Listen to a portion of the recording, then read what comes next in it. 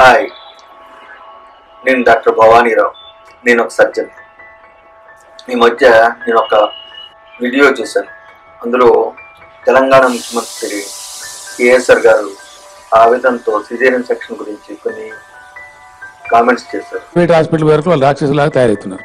Delivery పోతే caesarean operation చేయటం ఇంకోటి చేయటం అవసరం ఉండని లేపు అని పిచ్చి పిచ్చి కార్యక్రమాలు జరుగుతున్నాయి.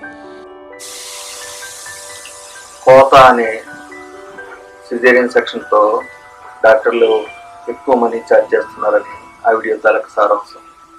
తెలంగాణ ముఖ్యమంత్రి స్థాయి వ్యక్తి అంత ఆవేదన పడ్డారంటే అది ఎంత ముఖ్యం అవసరం మనం ఆలోచించవచ్చు ఈ సిజేరియన్ ఆపరేషన్ ఈ ప్రపంచంలో వేల కోట్ల మంది ప్రాణాలు నిలబెట్టడానికి ఉపయోగపడింది. నేను ఇది ఎక్స్పీరియన్స్తో చెప్తున్నాను నేను పదేళ్ళ కిందటి వరకు ఈ ఆపరేషన్ గ్రామీణ విశాఖపట్నంలో చేసేవాడిని. అర్ధరాత్రి అపరాత్రి రసవేదంతో ఉన్న స్త్రీలు అక్కడ దగ్గరలో ఉన్న డాక్టర్ దగ్గరికి వెళ్ళేవాళ్ళు. అప్పుడు ఆ స్త్రీలను ట్రాన్స్పోర్ట్ చేయడానికి సరైన రోడ్లు ట్రాన్స్పోర్ట్ ఉండేది కాదు. అప్పుడు అక్కడున్న హాస్పిటల్ డాక్టర్స్ మాకు ఫోన్ చేస్తే సర్జన్ ఎనస్థిషియాలజిస్ట్ అర్ధరాత్రి అపరాత్రి చూడకుండా మేము వెళ్ళేవాళ్ళం. అక్కడున్న డాక్టర్స్ వర్రీ అయ్యేవారు. పేట్ల హార్ట్ బాగుండలేదని ఇంట్లో నుంచి మేము వీలైనంత వేగం చేరుకుని ఆపరేషన్ చేసి బిడ్డ ప్రాణాలు నిలబెడితే అక్కడున్న ప్రజలు మమ్మల్ని ఎంతగానో ఇష్టపడేవారు. వాళ్ళు ఎంతో సంతోషపడేవారు. కానీ ఇప్పుడు ఆ పరిస్థితులు లేవు.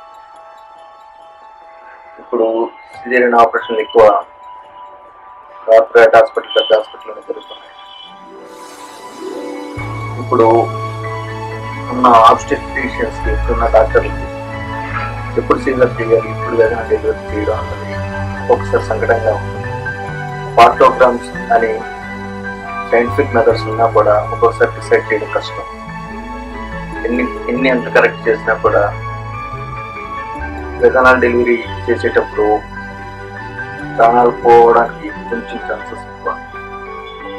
వంద మంది క్రిమినల్స్ తప్పించుకున్న ఒక ఇన్నోసెంట్ వ్యక్తి మన శిక్ష పడకూడదని మన న్యాయ వ్యవస్థ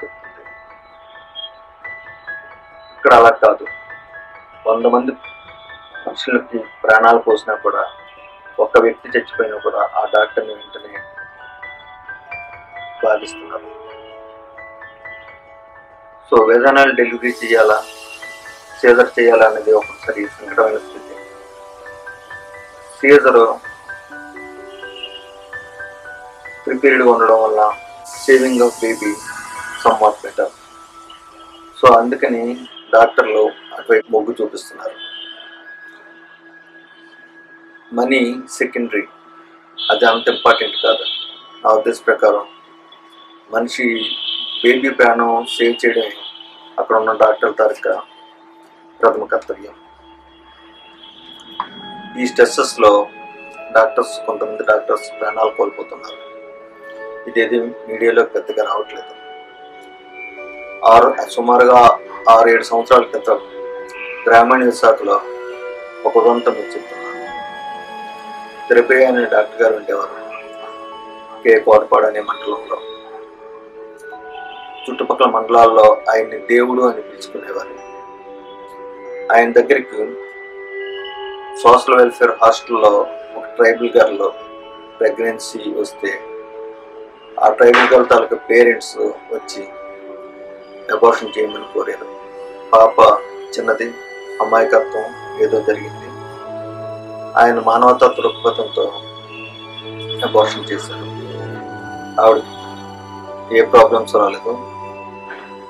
అంతా సర్దుమణిగేది అయితే ఆ ప్రెగ్నెన్సీకి కారణమైన ఆ వార్డెన్కి అక్కడున్న లోకల్ ఎమ్మెల్యేకి మనస్పత్తులు ఉన్నాయి. ఆ ఉక్రోషణతో ఆ ఎమ్మెల్యే గారు అసెంబ్లీలో ఈ విషయాన్ని రీచ్ చేశారు. కలెక్టర్ గారేమో ఆ డాక్టర్ నరసింహని ఆర్డర్ చేశారు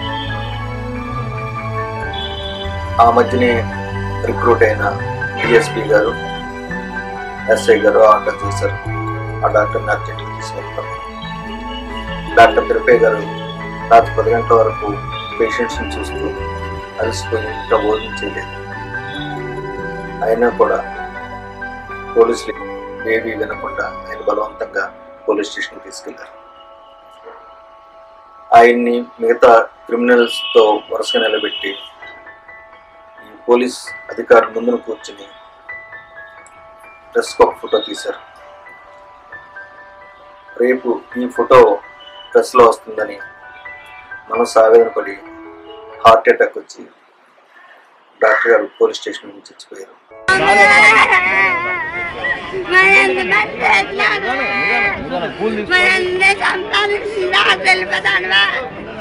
నా నాయన వెళ్ళిపోతాను నా దాంట్లో వెళ్ళిపోతానువా నా తిరుపతిలో వెళ్ళిపోతాంటాను అందరినీ సంపాదించిన రాజు వెళ్ళిపోతాడు నా వెళ్ళిపో ఈ విషయం తెలుసుకున్న చుట్టుపక్కల ప్రజలు మన్నాడు పోలీస్ స్టేషన్ పిలిచారు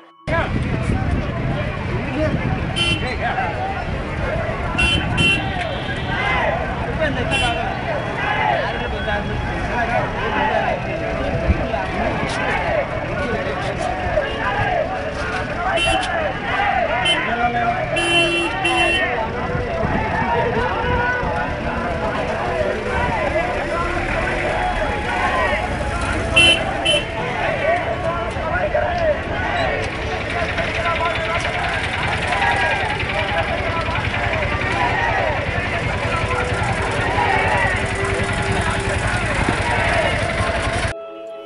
విషయాలు ఇవి మీడియాలో అంతగా రాలేదు.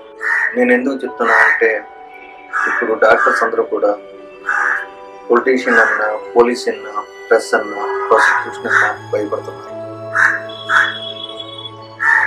అందరూ పోలీసులు చెడ్డవాళ్ళని కాదు అందరూ పొలిటీషియన్స్ చెడ్డవాళ్ళని కాదు. ప్రెస్లో ఉన్న వాళ్ళందరూ చెడ్డవాళ్ళని కాదు. కానీ ఇలాంటివి సందర్భాల్లో డాక్టర్స్ వీళ్ళకి హ్యూజ్ అమౌంట్స్లో ఇవ్వాల్సి వస్తుంది. ఈ మనీ అంతా ఎక్కడి నుంచి వస్తుంది? ఇదంతా కూడా పేషెంట్స్ మీద పడుతుంది. చిన్న హాస్పిటల్ ఇవన్నీ భరించలేక ఇటువంటి కేసులు ఏమైనా ఉంటే కార్పొరేట్ హాస్పిటల్స్ కార్పొరేట్ హాస్పిటల్స్ వీళ్ళందరికీ రెగ్యులర్గా టైప్ చేయాల్సి వస్తుంది. వీటితో పాటు చిన్న అవసరం ఉన్నప్పుడు ఇన్వెస్టిగేషన్ తీసుకోవాల్సి వస్తుంది. ఈ రేపు పొద్దున ఏ కేసులు ఎదుర్కొంటాం అని చెప్పేసి పెద్ద అమౌంట్లో ఇన్సూరెన్స్ పే చేయాల్సి వస్తుంది. ఈ మనీ అంతా ఎవరు పెట్టుకోవాల్సి వస్తుందా ఆఖరికి? పేషెంట్సే కదా? పీపులే కదా? ఈ వ్యవస్థ మారాలంటే ఎలా? ప్రజల్లో అవగాహన పెరగాలి. రియల్ కల్ప్రిట్స్ డాక్టర్స్ కాదు. అవినీతితో మామూలు సాధారణ వార్తల్ని వాళ్ళకి అనుగుణంగా మలుచుకొని డబ్బులు గుంజే అవినీతిపరులైన పొలిటీషియన్స్ పోలీస్ ప్రెస్ ప్రాసిక్యూషన్ అర్థం చేసుకోవాలి. ఈ అవగాహన వచ్చి వస్తే సిస్టమ్ మార్పు వస్తుంది. నేను మళ్ళీ చెప్తున్నా చాలా మంది పొలిటీషియన్స్ మంచోళ్ళే. పోలీస్ వాళ్ళు కూడా చాలా మంచోళ్ళే. నా బంధువుల్లో కూడా నిజాయితీ పరులైన పోలీసులు ఉన్నారు. ప్లస్ ప్రాసిక్యూషన్ అందులో ఉన్న అవినీతి పీపుల్ గురించి నేను ఈ వీడియో చెప్తున్నా. ఈ వీడియోని పీపుల్ అర్థం చేసుకుంటే ఈ సమస్య పరిష్కారం అవుతుందని సదుద్దేశంతో నేను ఈ వీడియో రిలీజ్ చేస్తాను థ్యాంక్ యూ